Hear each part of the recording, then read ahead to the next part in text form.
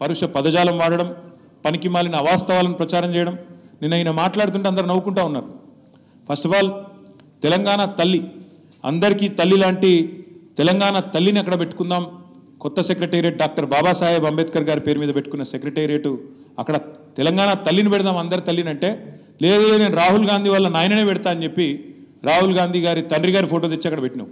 తండ్రి గారి విగ్రహం తెచ్చి అక్కడ పెట్టినావు. పెట్టడమే కాకుండా ఢిల్లీ మెప్పు కోసం ఇన్ని రోజులు బూతులు తిట్టిండు కదా.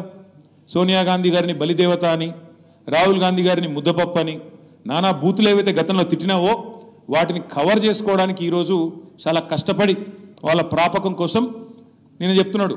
ఏం చెప్తున్నాడు? రాజీవ్ గాంధీ గారు కంప్యూటర్ కనిపెట్టిండట. ఇక నీకు నీకు ఎంత తెలివి ఉందో దీన్ని బట్ట చెప్పొచ్చు.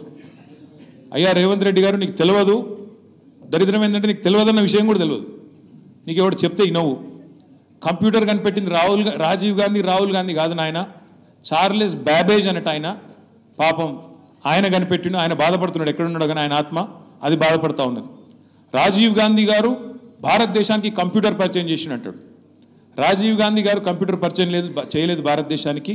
పంతొమ్మిది వందల యాభై ఐదులోనే టాటా గ్రూప్ వాళ్ళు టాటా గ్రూప్ వాళ్ళు బొంబాయిలో మొట్టమొదటి కంప్యూటర్ను వాళ్ళు తీసుకొచ్చినారు. ఇది నీకు తెలియదు ఆ రోజు రాజీవ్ గాంధీ గారికి పదేళ్ళలో పన్నెండేళ్ళలో ఇది నీ తెలివి ఇది నీకున్న పరిజ్ఞానం. ఇక దాంతోపాటు మీకు తెలుసు ఈ రాష్ట్రంలో పరిస్థితి ఎట్లా ఉంది అంటే ఒకవైపు చికెన్ గున్యాలు విష జ్వరాలు మరొకవైపు ఈ డెంగ్యూలు పారిశుద్ధ్యం పడకేసింది.